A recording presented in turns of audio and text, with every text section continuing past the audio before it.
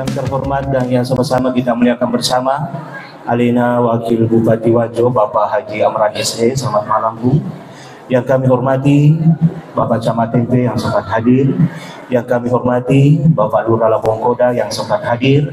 Yang kami hormati dan sama-sama kita muliakan Al-Mukarram K. Haji Abdul Hadi LCNA Pembina Pondok Pesantren Al-Azkiyah Depok dari Jakarta. Selaku pembawa hikmah Islam Miraj pada malam hari ini yang sama-sama kita hormati dan kita muliakan bersama Al Mukarram Al Ustaz Haji Ubaidillah Saleh Al Bugis LC yang kami hormati Bapak dan Ibu, tokoh agama, tokoh masyarakat, tokoh pendidik, dan majelis taklim hadirin dan hadirat yang berbahagia. Hadirin Bapak dan Ibu yang dimuliakan oleh Allah, mengawali acara kita pada malam hari ini dengan khusyuk dan penuh keikhlasan.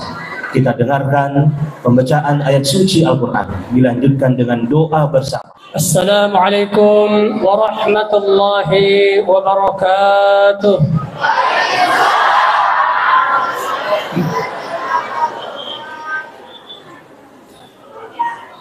أعوذ بالله من الشيطان الرجيم.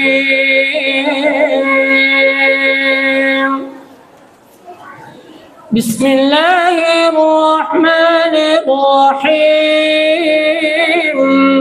سبحان الذي أسرى بعبده ليلا من المسجد الحرام.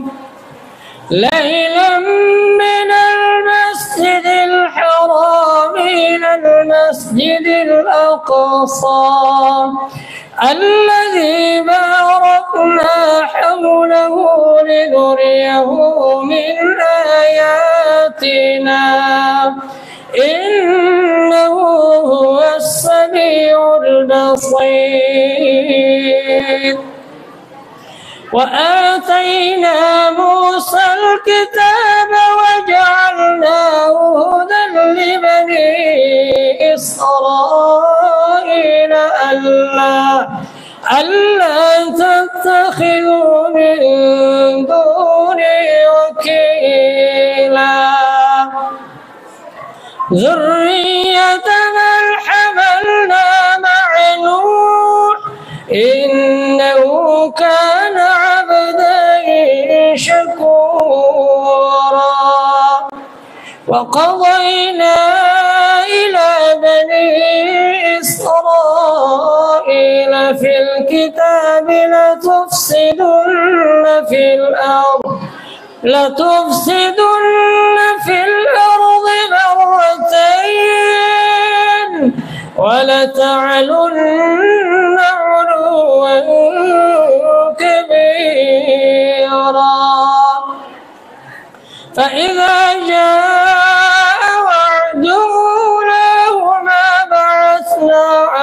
عليكم عبادا لنا. بعثنا عليكم عبادا لنا. أولي بأس شديد. فجاسوا خلال الديار. وكان وعدا مفعولا. ثم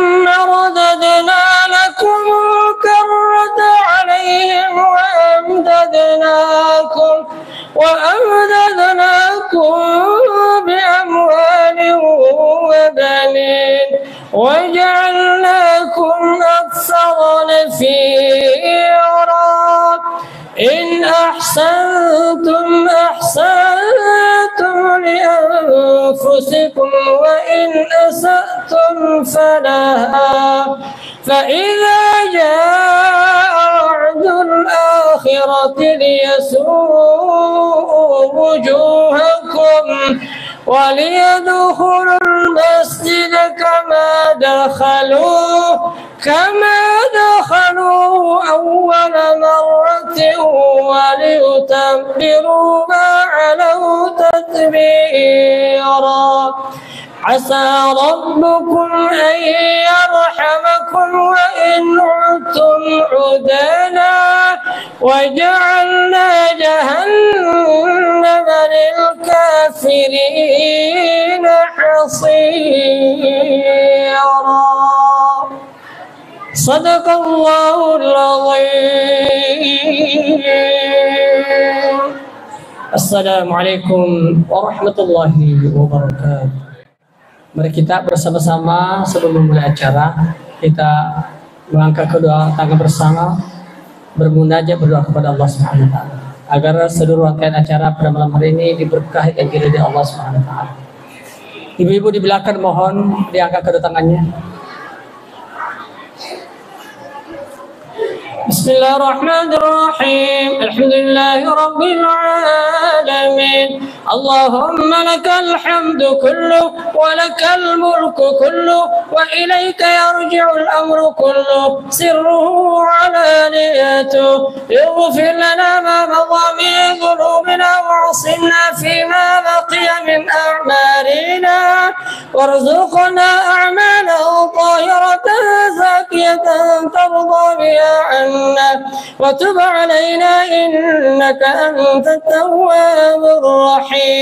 اللهم صل وسلم وبارك على سيدنا محمد وعلى آل سيدنا محمد.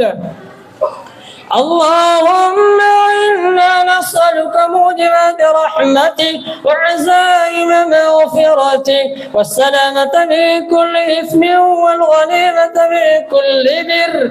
لا تدع لنا ذنبا إلا غفرته ولا هما إلا فرجته ولا دينا إلا قضيته ولا جاهلا إلا علمته ولا كسلانا إلا نشطه ولا حاجة من حوائج الدنيا والآخرة إلا قضيتها ويسرتها. إنك على كل شيء قدير. اللهم اجعل جمعنا هذا وجمع المرحوم والبركة وتفرقنا من بعده وتفرق المعصوم. اللهم أعز الإسلام والمسلمين وأذل الشرك والمشركين ودمر أعداءك أعداء الدين. اللهم انصر الإخوان المسلمين في كل مكان في كل مكان وفي كل زمان وخاصة إخواننا المسلمين في في المدينة وجوسين كالبنكودا يا ذا الجلال والإكرام. اللهم ارفع عنا البلاء والوباء والغلا والزلازل وسوء الفتن والمحن. ما ظهر منها وما بطن عن بلدنا إندونيسيا خاصة. وسائر بلاد المسلمين عامة وخاصة إخواننا المسلمين في قرية هذه لكنكودة يا رب العالمين. اللهم اجعل مساجدنا كمسجد النبي صلى الله عليه وسلم وخصوصا في هذا المسجد نور رياني يا ذا الجلال والإكرام. اللهم إنا نسألك حسن الخاتمة ونعوذ بك من سوء الخاتمة. اللهم استعملنا واستعمل آباءنا وأمهاتنا وأزواجنا وذرياتنا والأقرانا لإعلاء كلماتك وإحياء سنة نبيك محمد صلى الله عليه وسلم. يا ذا الجلال والإكرام. ربنا آتنا في الدنيا حسنة وفي الآخرة حسنة وقنا عذاب النار. سبحان ربك رب العزة عما يصفون وسلام على المرسلين والحمد لله رب العالمين الفاتحة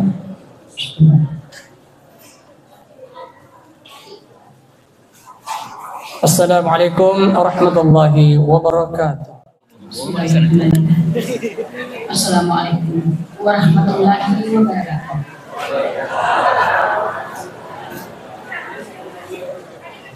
Sebelum kami memulai acara ini,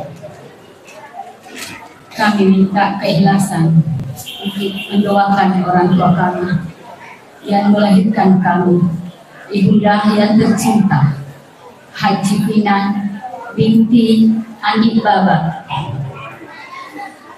dan Bapak kami yang tercinta, Haji Dawi bin Sindri. Bismillahirrahmanirrahim. Al-Fatihah.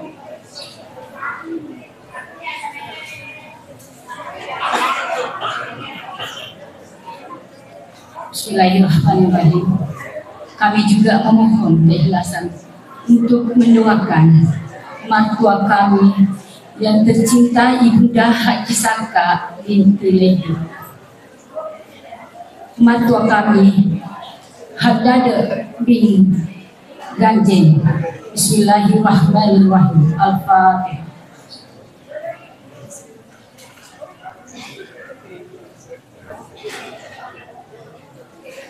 Yang terhormat, Wakil Bupati Wajo, Bapak Haji Amran SE yang kami hormati. Yang terhormat, Bapak Andre Guruta Haji Abdul Hadi LCMA dari Jakarta yang kami hormati, yang kami hormati dan kami muliakan.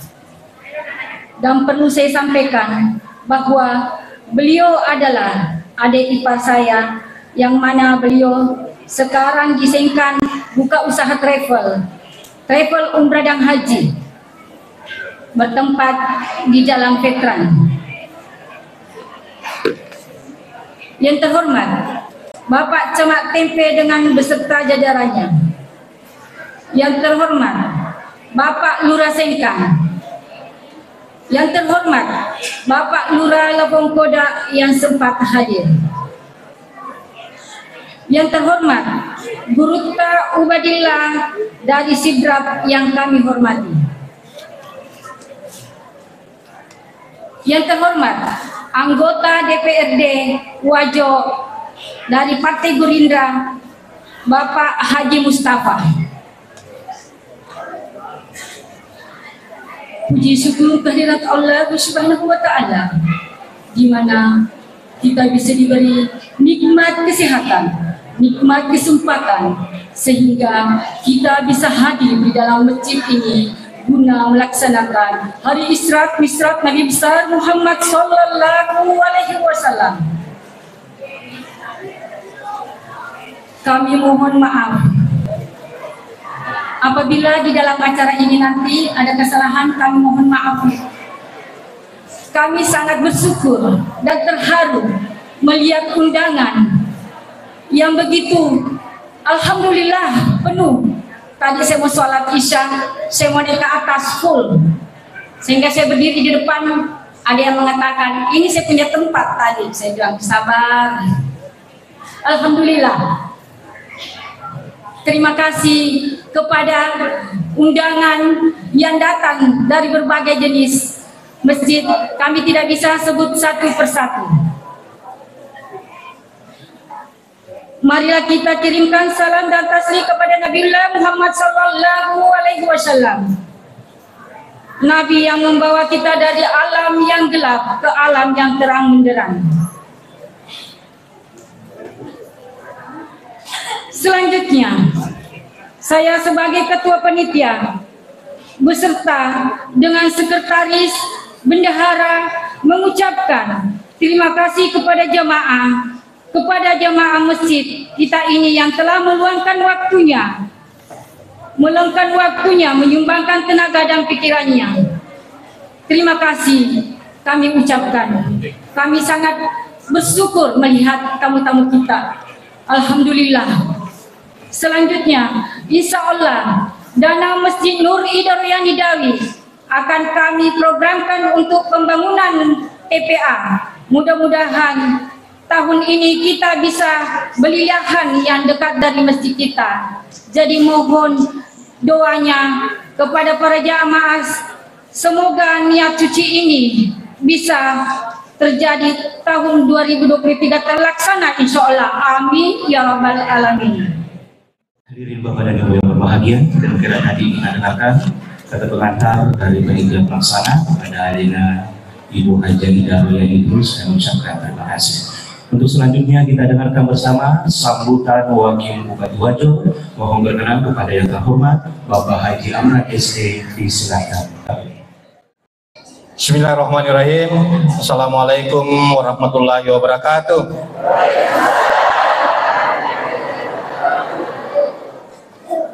Alhamdulillahirrahmanirrahim. Wassalatu wassalamu ala asrafil anbiya'i wal. Syedina Muhammadin wa ala alihi wa sahbihi ajma'in amma ba'd. Selanjutnya tentu saya ingin sampaikan juga kepada kita semua yang sering ada di media, di Facebook dan lain sebagainya perihal layanan kesehatan kita. Jadi setiap tahun anggaran baru saya bersama Pak Bupati itu pusingnya tujuh keliling. Apa itu pusingnya? Karena wajib Pemda Kabupaten Nuajo wajib menyiapkan uang 56 miliar untuk membackup UHC kita, untuk membackup BPJS kita supaya gratis kita berobat. Kalau masuk lagi begini bulan Januari, Februari, pusing gimana diambilkan lagi uang 56 miliar. Coba kita bayangkan kalau tidak ada 56 miliar itu saya jadikan UHC, saya bikinkan jalan itu berapa kilo meter itu yang bisa jadi dengan 56 miliar. Tapi jauh lebih butuh kesehatan, baru infrastruktur. Jadi 50 56 miliar kalau kami siapkan siapa pun warga Wajo yang sakit di kelas 3. Nah, ini salah paham ya. Begitu BPJS-nya aktif, masuk di rumah sakit, masuk di puskesmas, dia minta kelas 1. Berkelahi dengan petugas yang ada di rumah sakit. Ah, ada BPJS saya. Kenapa dia mau kasih sudah dijelaskan bahwa BPJS itu ada klasifikasinya. Kalau kelas 3 ya ditanggung, ini obatnya, ini obatnya, ini obatnya. Kalau operasi begini tidak ditanggung dan lain sebagainya. Seperti itu. Sekiranya itu yang bisa sampaikan kepada kita semua. Mohon maaf yang sebesar-besarnya kalau ada yang kurang. Bila itu wal hidayah. Wassalamualaikum warahmatullahi wabarakatuh. Bismillahirrahmanirrahim. Assalamualaikum warahmatullahi wabarakatuh.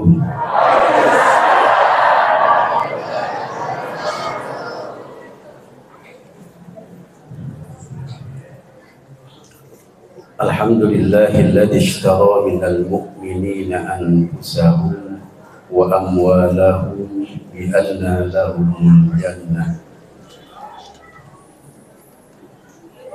أشهد أن لا إله إلا الله وحده لا شريك له.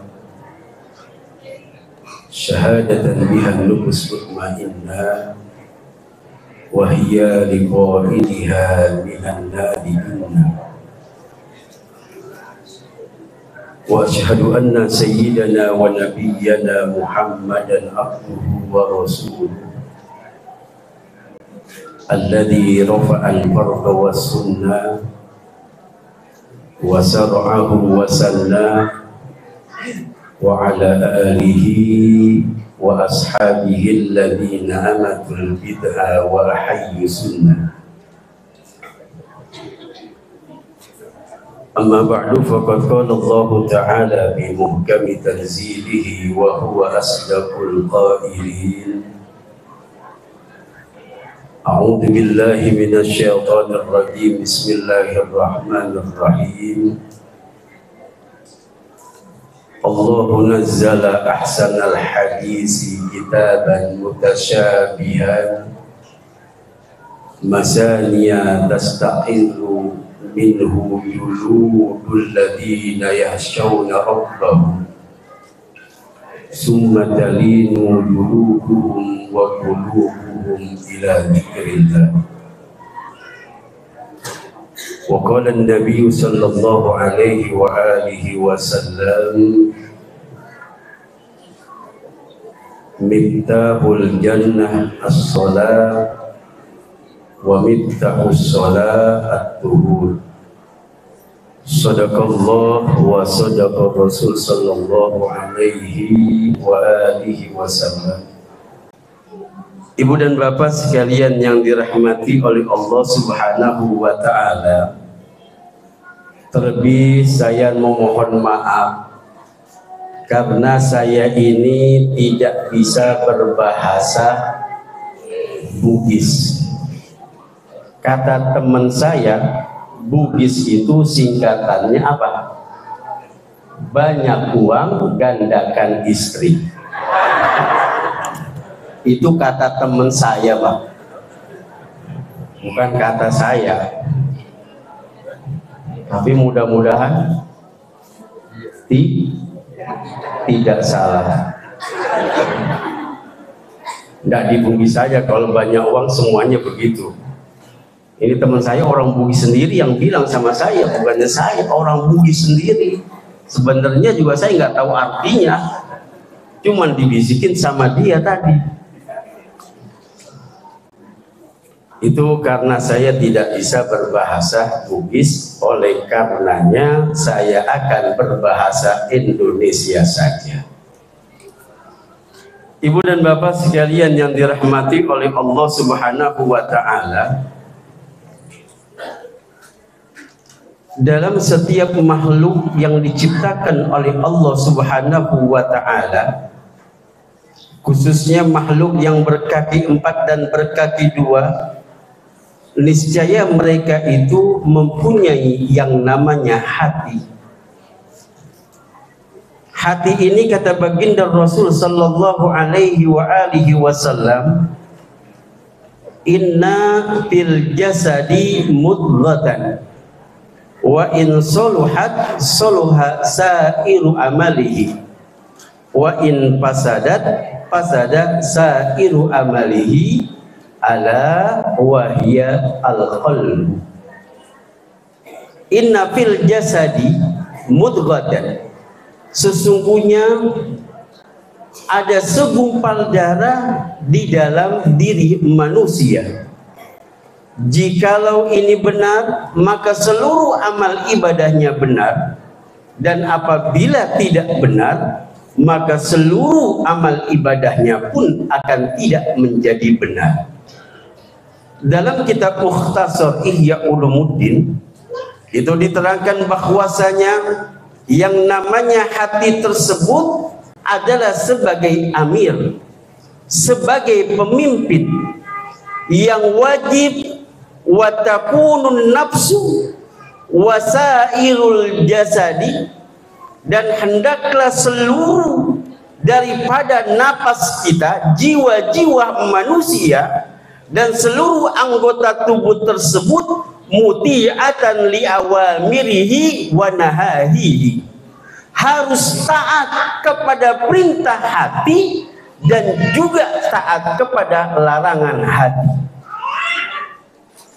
karena seluruh anggota tubuh manusia tersebut bahwasanya di dalam hati ini hati tersebut mempunyai dua tentara di dalam jiwa manusia.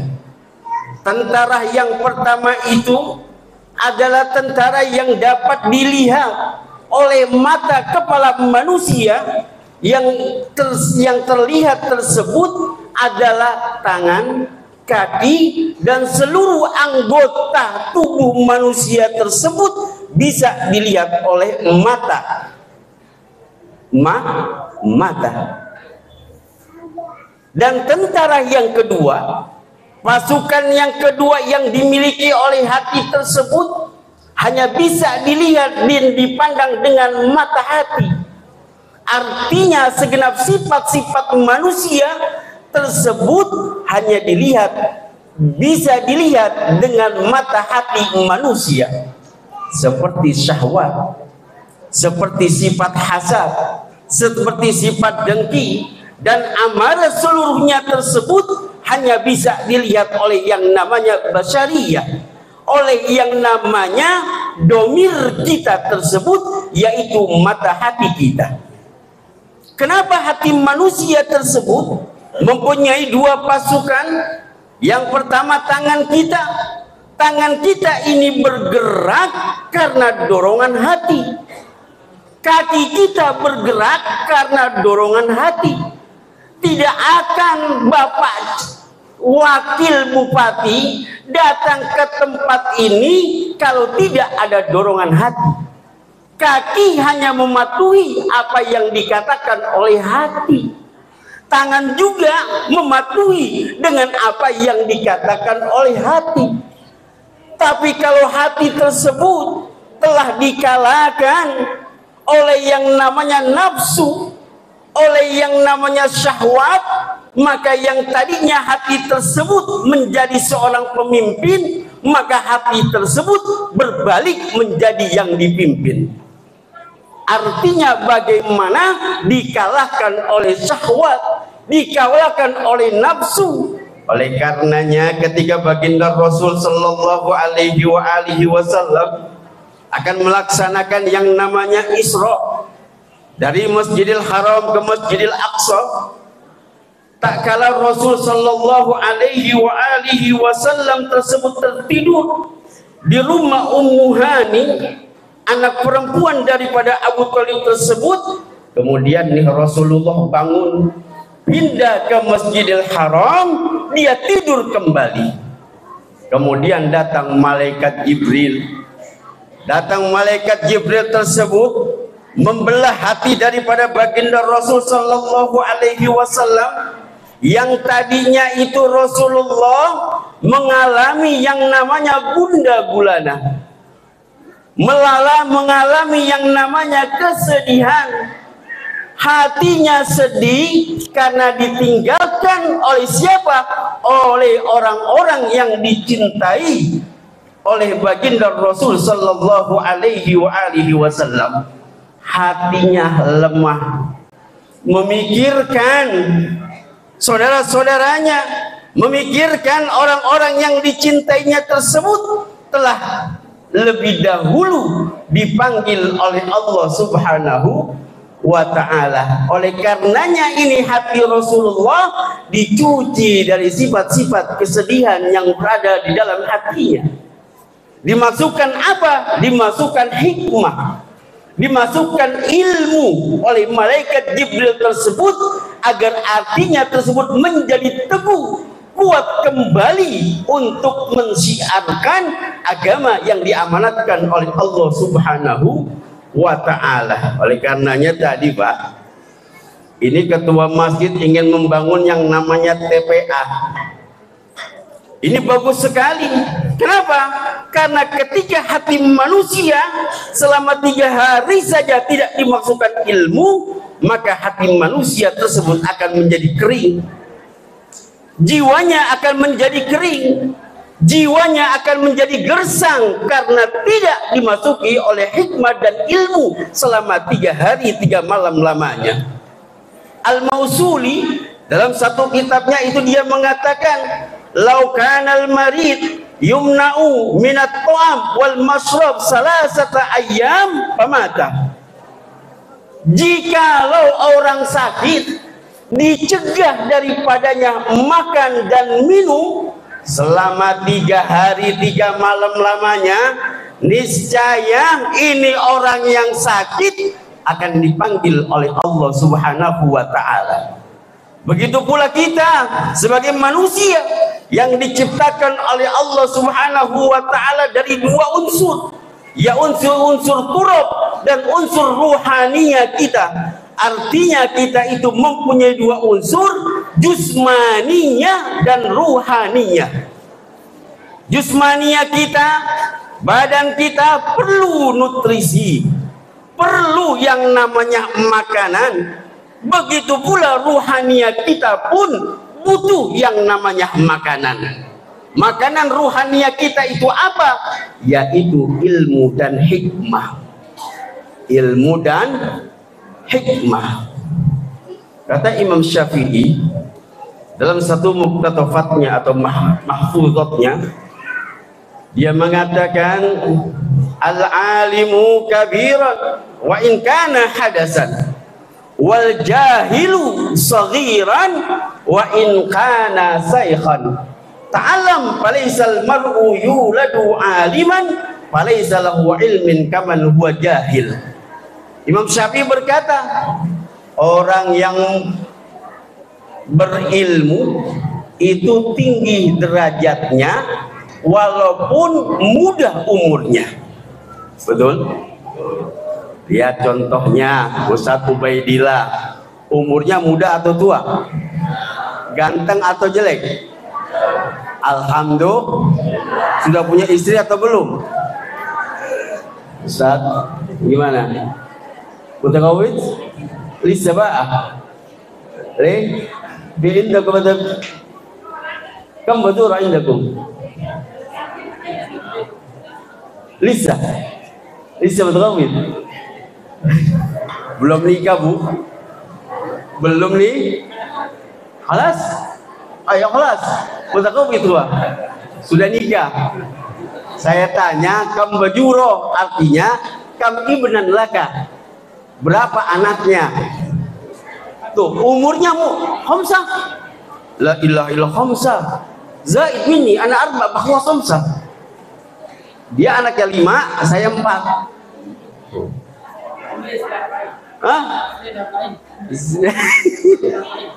Ada sunnah kebat arba'in? Umurnya 40 tahun. Muda. Karena beliau ini berilmu, belum datang tempatnya sudah disediakan. Karena apa? Dia apa? Diangkat derajatnya oleh Allah Subhanahu wa taala. Al-alimu kabiran wa in kana hadasan. Orang yang berilmu tinggi derajatnya walaupun muda umurnya. Enak nggak begitu? Ada yang tua datang duluan karena nggak punya ilmu, apa disuruh di depan? Duduk di depan atau di belakang? Duduknya di mana?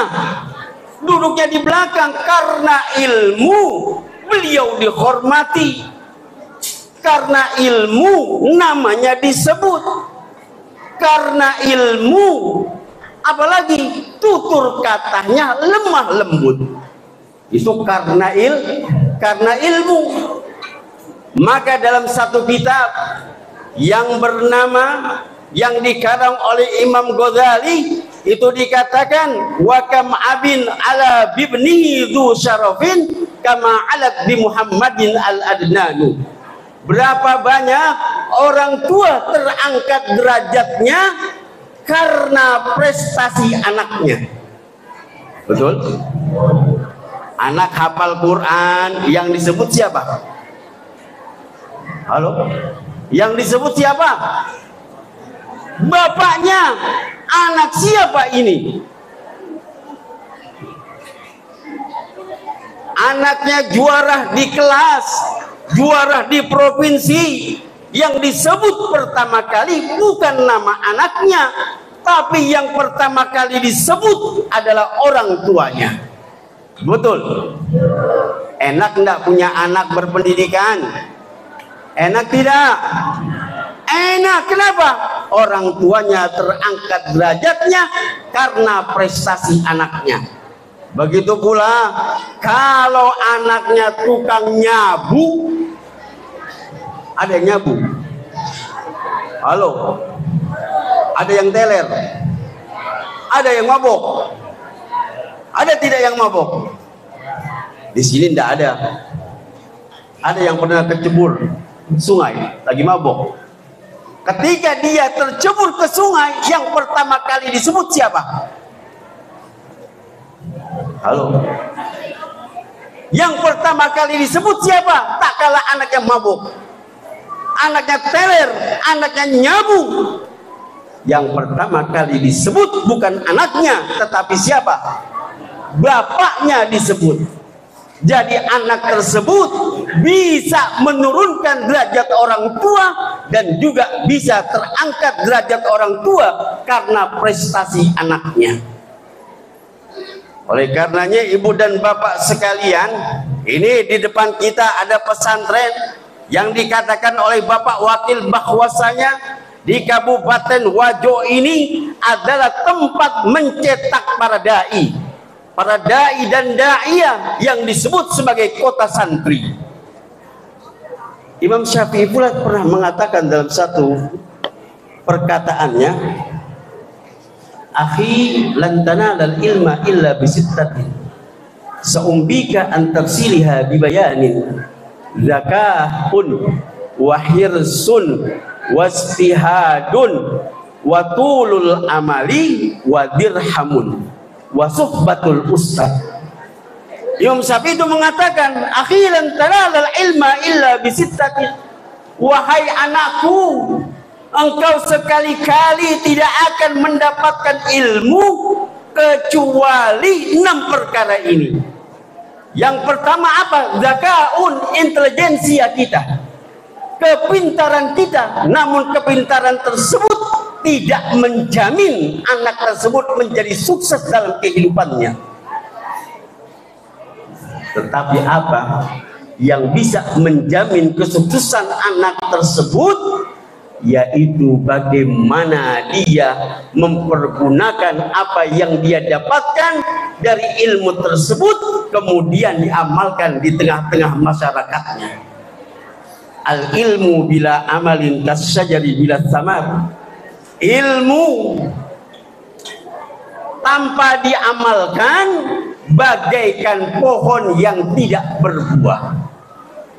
Nah oleh karenanya ibu dan bapak sekalian dengan kita mengambil ibrah daripada peringatan peringatan Isra dan Mi'raj Rasul sallallahu alaihi wasallam tersebut tak kala dibelah dadanya dimaksudkan hikmah di dalamnya artinya kita mencontoh daripada apa yang terjadi dalam diri baginda Rasul sallallahu alaihi wasallam tersebut agar diri kita selalu dinutrisi dengan hikmah dan ilmu tiap-tiap hari agar hati kita tidak menjadi mati ruhania kita itu tidak menjadi gersang sudah diisi sudah bersih diajak oleh malaikat Jibril sus dengan buruknya sampai ke Toyibah sampai ke Toyibah Rasulullah sholat dua rakaat di sana.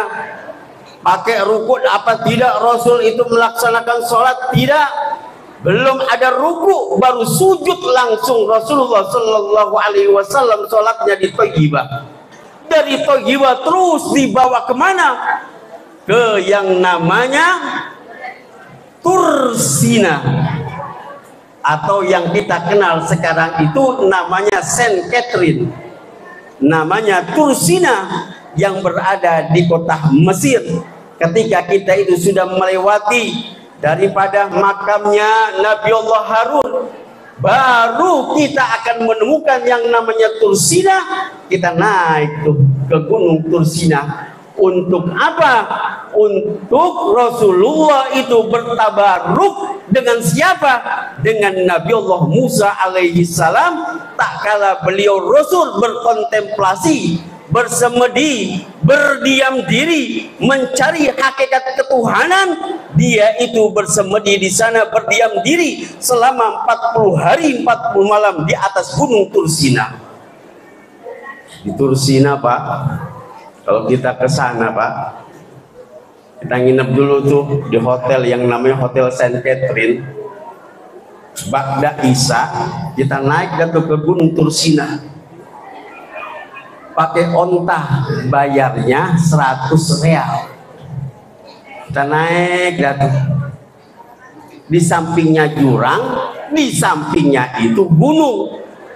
Ba'da Isa kita itu sampai ke Tursina kita di sana melaksanakan sholat dua rakaat bertabarruk.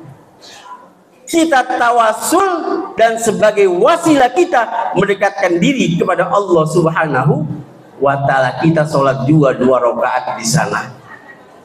Turun datu kita nanti apa? Ba'da subuh baru kita sampai ke tempat kita kembali. Karena apa? Menaiki gunung kursina dari bawah ke atas dengan unta itu lamanya kurang lebih dua jam perjalanan. Jauh banget ya. Itu Nabi Musa bagaimana dulunya? Tabaruk di sana dia berwasilah. Rasulullah pun bertabaruk di sana. Apa itu wasilah? Dalam kitab Al-Mawsu'ah Al-Yusufiyah fi Bayani Adillati Sufiyah itu diterangkan mahiyal wasilah. Al-wasilah hiya turukun min tariqi at-tadarru ilallahi jalla wa ala.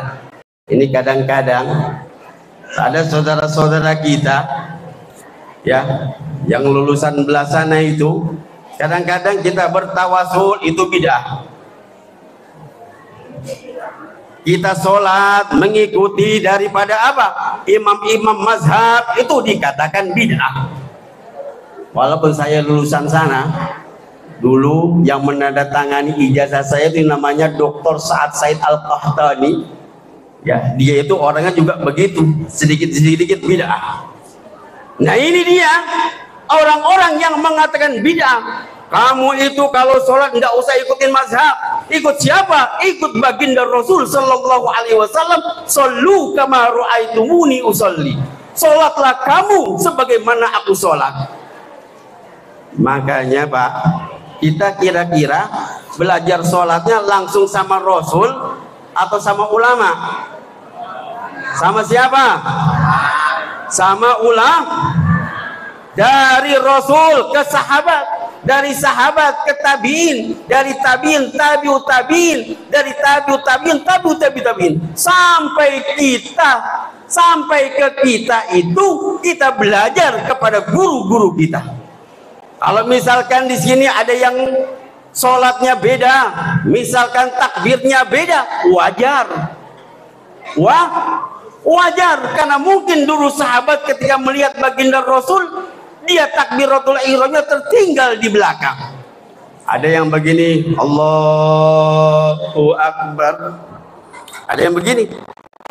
Ada juga yang begini, Allahu Akbar. Ada yang ke ke kanan. Ada juga Allah diputar sama dia. Diputar, diputar tangannya. Allahu Akbar. Ada juga yang sampai ke dada. Ada tidak yang di dada? Allahu Akbar. Alhamdulillah tidak sampai mencekek lehernya. Kalau bedanya seperti itu tidak apa-apa. Jangan sampai bedanya ketika kita takbiratul ihram. Lah kalau beda bahasa ramai Masjid Ida Royani. Imamnya Ustaz Ubaidillah. Allahu Akbar. Datang orang Padang. Allah nan gadang. Kan berapa itu? Ada orang Betawi kayak saya, dia sholatnya bagaimana? Allah yang gede banget. Rame tidak itu masjid? Rame, ada orang Bugis datang. Allah apa Pak? Raja. Maharaja. Maharaja. Allah Maharaja Lada. Wah, la ilaha illallah. Ramai masjid kalau takbiratul ihramnya berbeda-beda bahasa. Tapi alhamdulillah tak kala mereka sholat bahasa takbiratul ihramnya itu semua serempak. Allahu akbar. Allahu akbar. Mau pakai bismillah silakan. Tidak pakai bismillah juga silakan. Bahkan Pak kalau lagi di Iran kebetulan disertasi saya itu judulnya At-Tarbiyah Al-Khuluqiyah Indah Al-Maragi wat tabai fi muqaranati tarbiyatil khuluqiyah inda at-tabai wal maragi fi tafsiri Ibnu Katsir wa tafsiril Mizan paham Paham tidak? Ini yang pahamnya Ustaz Ubaidillah saja ini. Desertasi saya judulnya itu apa?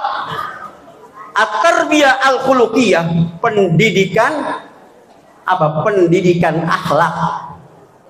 Menurut At-Tobat Tobai dan Al-Marohi dalam kajian perbandingan tafsir Ibnu Kasir eh tafsir Al-Maroghi wa tafsir Al-Mizan.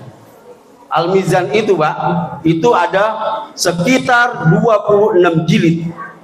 Berbahasa Arab semua, tidak ada yang bahasa Indonesia. Mana bahasanya itu bahasa apa? Bahasa sastra semuanya. Jadi disertasi saya pakai apa tadi? Pakai bahasa bahasa. Sampai di mana tadi bahasa saya ngomong? Sampai di mana saya bicara? Halo? Sampai di mana saya bicara? Halo? Didengerin apa tidak sih tadi? Masalah apa? Masalah so Masalah sholat Alhamdulillah takbiratul ihramnya tersebut Semuanya serentak Pakai yang namanya Allahu Akbar Nah ini Pak ada Pak di kampung saya, bukan di Wajo, bukan di Sengkang. Kampung saya ini semuanya orang-orangnya orang-orang bodoh. Kebetulan dia mau sholat asar ke sorean. Sholat asar ke sorean, dia datang ke masjid.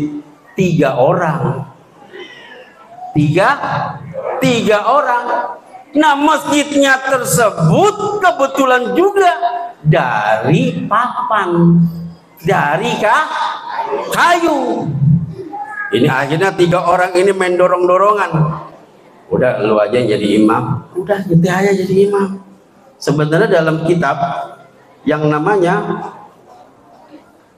ilmu usul fik ya itu dikatakan al isaru fil ibadah mamnu saling dorong-dorongan itu hukumnya tidak boleh. Udah ente aja jadi imam. Udah ente aja jadi imam. Main dorong-dorongan. Akhirnya datang ya yang satu ngalah jadi jadi imam. Allahu Akbar. Yang makmum bagaimana? Ngikutin juga. Allahu Akbar dia ruku ruku. Dia sujud sujud. Baru rokaat kedua tikus jatuh. Ini imam bilang astagfirullahaladzim ada tikus. Yang di belakang bilang lah kan kalau bicara batal itu. Imamnya batal kemudian makmumnya di belakang bilang bagaimana dia bilangnya? Pak Imam kalau ngomong itu batal sholatnya ini kira-kira makmum yang di belakang bagaimana? Batal tidak? Batal. Makmum yang kedua bilang juga Alhamdulillah gua nggak ngomong.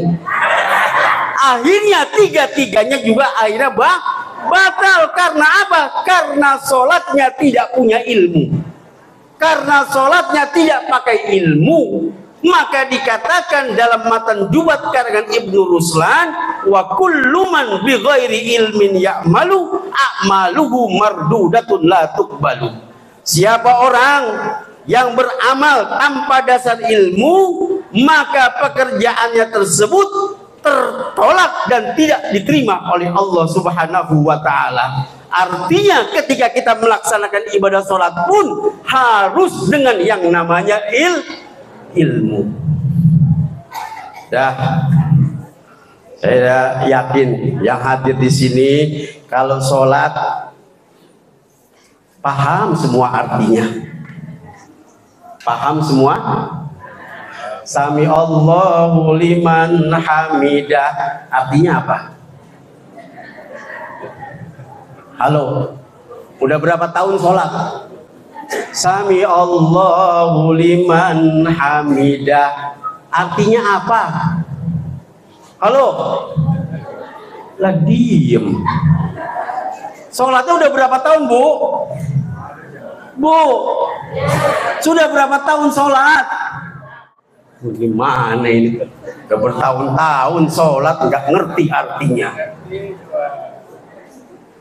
Allahu Akbar artinya apa? Setiap hari disebutin itu sih.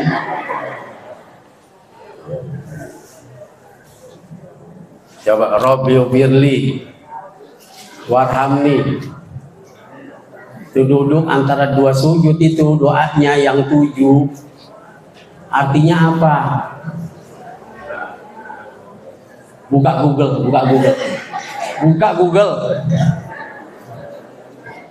Lah bagaimana kita itu sholat akan khusyuk sementara kita tidak tahu makna yang kita laksanakan ketika kita melaksanakan ibadah sholat. Makanya ketika kita melaksanakan sholat kadang-kadang diri kita di masjid, hati kita di toko. Ada yang begitu? Halo? Allahu Akbar. Ya Allah dompet ketinggalan lagi. Ini takbiratul ihramnya benar. Allahu Akbar. Imam baca lama. Ini imam baca lama banget lagi. Mana tahu kalau lupa ditutup tadi. Tuh, ada yang begitu. Banyak. Alhamdulillah Ustaz yang ngaku. Banyak yang begitu. Makanya Pak, kalau kita lagi sholat itu, apa katanya kata Rasul Sallallahu Alaihi Wasallam? Miftahul jannah as-sholat. Kunci surga itu adalah sholat. Wa miftahu sholat at-tuhur. Dan kunci sholat itu adalah kebersihan. Bukan kebersihan hanya kita bersih dari najis yang kelihatan, tapi juga kita harus bersih dari apa? Dari kemusyrikan yang ada di dalam hati kita itu yang paling susah yang kita tinggalkan tak kala kita melaksanakan ibadah sholat seperti itu Allahu Akbar ingat dia. Apalagi di depannya. Jangan lupa pilih apa amran. Dia pakai kaosnya. Lagi sholat pakai kaosnya. Ada di depan kita. Takbirnya sih asik banget. Kusuk benar Allahu Akbar. Sambil merem dia begini. Sebenarnya kalau sholat lagi merem itu hukumnya makruh. Hukumnya mak makruh. Merem ngelihat ke atas makruh hukumnya. Makanya ketika kita sholat dalam kitab sholatul mukmin karangan Syekh Al Utsaimin itu diterangkan tak kala kita laksanakan ibadah sholat mata kita tertuju ke tempat sujud kita. Supaya apa? Supaya kita merasakan kehusuan dalam melaksanakan ibadah ibadah sholat. Jangan pakai kaos. Apalagi ada bacaannya. Ada bacaannya di belakang. Lagi enak-enak baca Fatihah, dia lihat di situ. Pilihlah nomor empat. Siapa itu? Bapak Haji Mustafa. Amin ya. Dipakai sholat itu yang namanya apa? Kaos partai. Jangan, supaya apa? Supaya kita khusyuk. 15 menit lagi.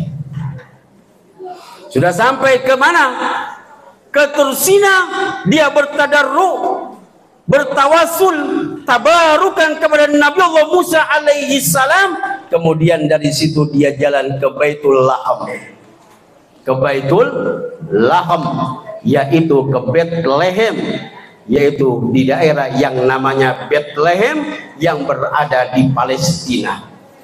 Nah di Bethlehem tersebut ada satu bangunan yang sangat besar sekali.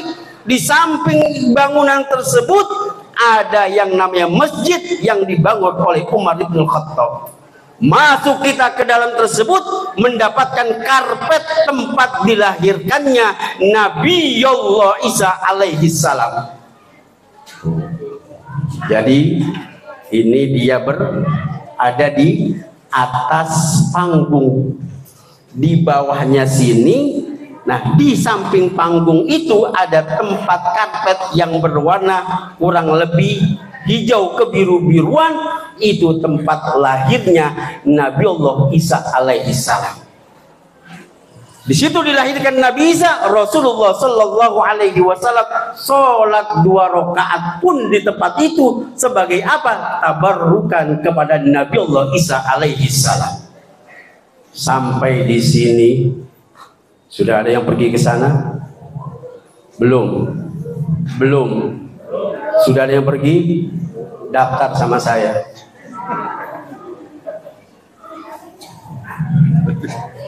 Pak Dewan ketawa. Kan kalau dikasih saya suruh Pak Dewan bicara, saya kena endorse enggak? Jadi promo. Jadi promo. Kalau mau ke sana nanti ke Baitul Maqdis ikut sama saya. Insya Allah nanti saya bimbing ke tempat-tempat yang apa? Yang dirahasiakan di antaranya tempat makam siapa? Ibundanya Nabi Allah Isa alaihissalam yang bernama Siti Maryam. Ada itu di mana dia dimakamkannya? Dimakamkannya yaitu di Bukit Zaitun bersebelahan dengan Nabi Allah Daud alaihissalam.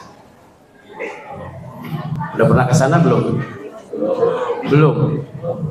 Jangankan sana yang jauh-jauh, yang dekat aja tidak pernah datang.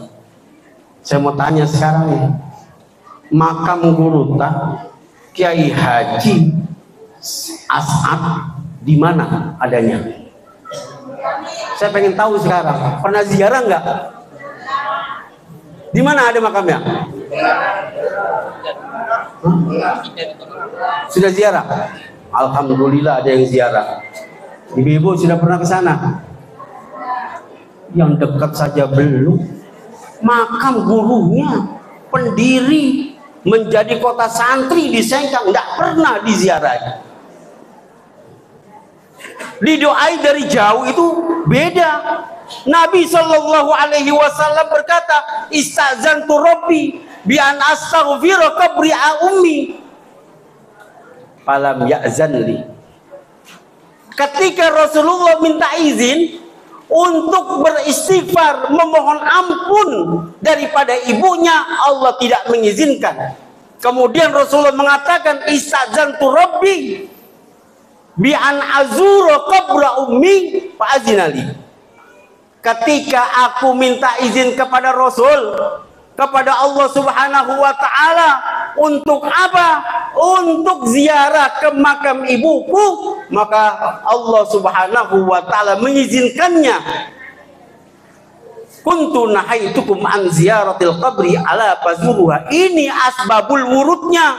Maka ketika itulah Rasulullah Sallallahu Alaihi Wasallam membolehkan umatnya untuk ziarah kubur. Ini setahun sekali dua ida. Makam orang tua dilupakan saja. Kadang-kadang makam orang tua sudah ditumbuhi rumput dan ilalang. Tidak ketahuan di mana adanya.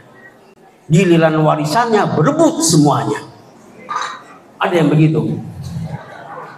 Benar? Ini makam orang tua kita ziarahi. Ulama-ulama yang meninggal dunia di sini ziarahi. Kita apa? Tabarukan. Apa dalilnya?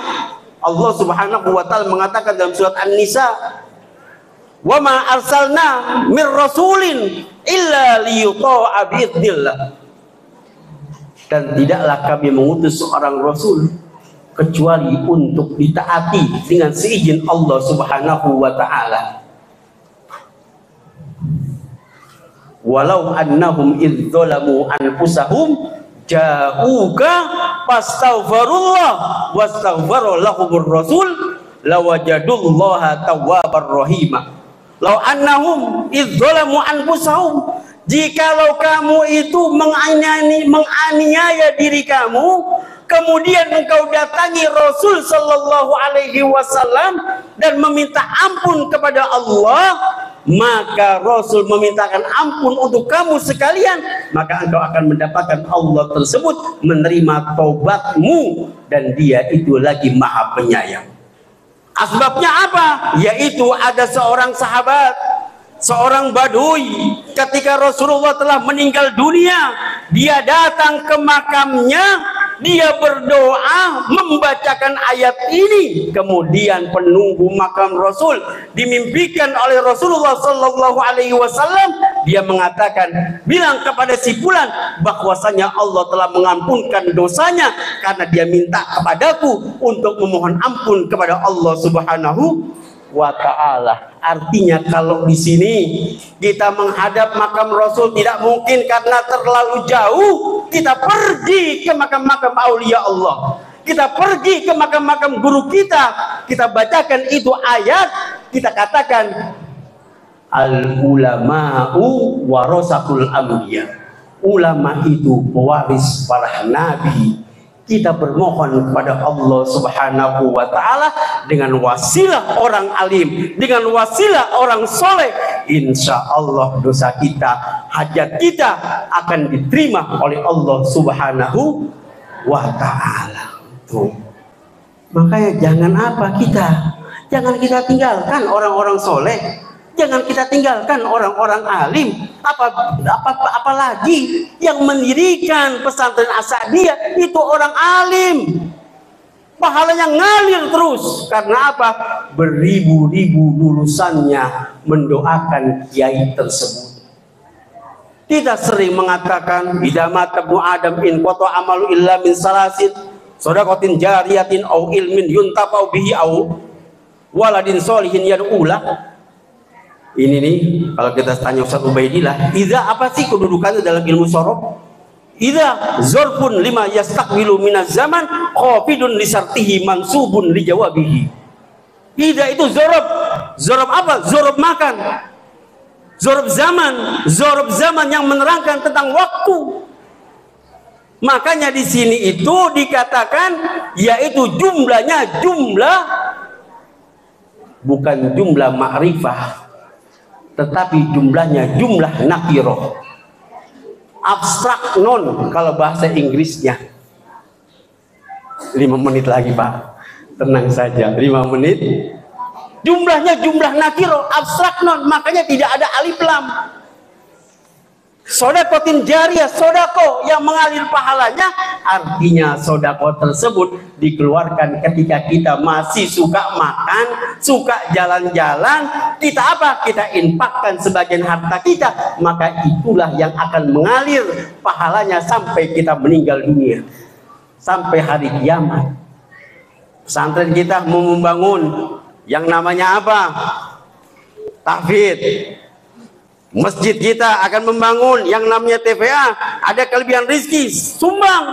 Itu akan menjadi apa? Amal jariah buat kita. Karena apa? Kita nyumbangnya ketika kita masih sehat, masih sehat. Au ilmin yuntafau ilmu yang bermanfaat. Yang ngajar kira-kira sudah meninggal atau masih hidup? Halo. Kira-kira yang meninggal atau yang masih hidup yang mengajar? Pasti yang masih hidup. Kalau yang sudah meninggal, kabur kita. Kita lah lari. Makanya itu yang dia kata au ilmin yuntafa'u ilmu yang bermanfaat karena apa? Karena diajarnya ketika dia masih sehat, masih hidup dia ngajar, ilmunya dipakai, pahalanya mengalir sampai yaumul kiamat awaladin solihin anak yang soleh yang mendoakan apakah mesti anak kandung? Tidak. Karena ini jumlahnya nakiro tidak ada alif lamnya. Kalau ada alif lamnya jadi jumlah ma'rifah itu artinya kantabel non. Jumlah yang bisa dihitung maka itu berarti anak kandung tetapi kalau tidak ada alif lamnya, jadinya apa? Angkan tabel non. Paham tidak? Ini bahasa sengkang ini. Angkan tabel jumlah yang tidak bisa dihi, dihitung. Berarti anak keponakan bisa, anak tetangga juga bisa, anak mantan pacar juga bisa. Mendoakan di kita. Artinya bukan anak kan kandung anak siapa sampai bisa mendoakan kita ketika kita telah meninggal don dunia. Sudah. Sampai di mana tadi? Sampai ke Bethlehem, ke Baitul Laham. Sudah ke Baitul Laham, kemudian Rasul Shallallahu Alaihi Wasallam pergi ke mana? yaitu ke Masjidil Aqsa ke Baitul Maqdis yang kira-kira jaraknya kurang lebih 3 km jauhnya. Di Baitul Maqdis tersebut Rasulullah melaksanakan sholat dua rakaat pula mengimami seluruh para ambia imbianya Allah Subhanahu wa taala itu yang namanya Baitul Maqdis ataupun Masjidil Aqsa. Subhanalladzi asra bi 'abdihi lailam minal masjidil haram ilal masjidil aqsa. Ke masjidil aqsa tersebut masjidil aqsa itu kubahnya yang berwarna hitam. Bukan yang kuning. Kan kita kalau dulu itu kan ada yang suka berjualan ya masjidil aqsa dengan buruknya bergambar seorang wanita dengan sayap yang begitu indahnya ya. Itu ada Masjidil Aqsa itu kubahnya warnanya pun kuning. Betul nggak? Ada di rumah-rumah kita. Masjidil Aqsa warnanya kubahnya pun kuning. Tapi hakikatnya Masjidil Aqsa tersebut kubahnya berwarna hitam. Dan Masjidil Aqsa yang asli itu adanya di bawah tidak di atas jadi di atasnya itu adalah masjid bangunan baru. Tapi masjid yang asli itu ada di bawah berkarpetkan merah tempat sujudnya baginda Rasul Shallallahu Alaihi Wasallam di situ sampingnya yaitu tempat di mana Siti Maryam mengandung daripada siapa? Daripada Siti Aisyah di tempat mihrabnya di samping daripada tempat sujudnya baginda Rasul sallallahu alaihi wa alihi wasallam sujud Pak di situ Rasul.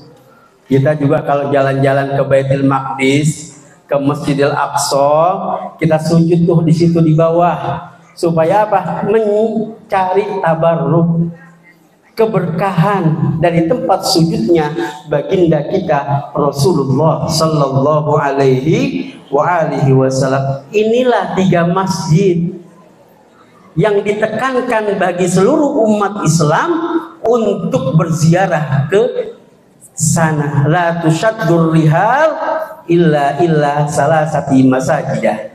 Masjidil Haram wa Masjidil Hada wa Masjidil Aqsa tidak ditekankan, tidak dipaksakan untuk berpergian ke mana saja kecuali ketiga tempat ini yaitu Masjidil Haram, Masjid Nabawi dan Masjidil Aqsa. Tuh. Ini saya lihat Pak Lurah ngelihat jam terus ini. Tinggal lagi ke atas. Tinggal dua menit lagi Pak Lurah. Tenang aja deh. Dan sampai di Masjidil Aqsa di sinilah Rasulullah Sallallahu Alaihi Wasallam ingin apa? Bermi'raj dari Masjidil Aqsa ke Sidratil Muntaha. Masjid yang berkubah kuning itulah tempat batu di mana Rasulullah itu berpijak ketika akan bermi'raj ke Sidratul Muntaha dan batunya itu ditendang oleh Rasul. Karena apa? Ini batu ingin pergi bersama-sama dengan baginda Rasul sallallahu alaihi wasallam dan batu itu masih ada sampai sekarang tidak naik ke atas, tidak turun ke bumi. Dan kita bisa melaksanakan sholat sunnah di bawah batu terapung tersebut ketika kita berziarah ke Masjidil Aqsa batunya ini sebesar masjid ini dia pak. Besar sekali sebesar masjid ini. Saya tidak bohong. Karena apa? Karena saya pernah melihat. Sudah tiga kali saya ke sana alhamdulillah. Jadi batunya sebesar ini dia mengambang melayang di udara.